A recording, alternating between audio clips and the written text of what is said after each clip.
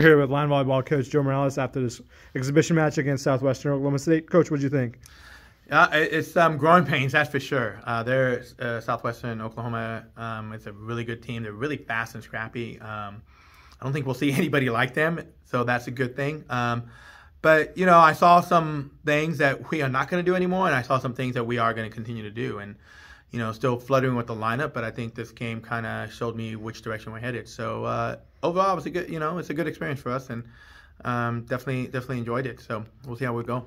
About 48 hours away from first regular season match, but this was the first time all fall that you were able to play a team not the Lions, and so were you able to throw in some new players in there as well? Yeah, you know, we you know, the whole purpose of an exhibition is to see different lineups, right? Know what you're going to go with, know what, what you're riding, what you're going to throw away, what you're going to keep.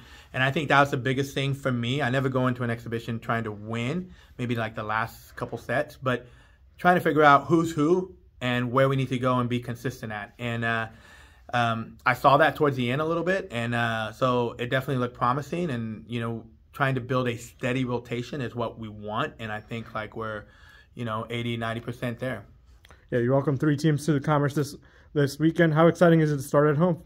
It's gonna be it's gonna be fun. You know, it's gonna be really exciting. Um, I think you know all teams bring something different.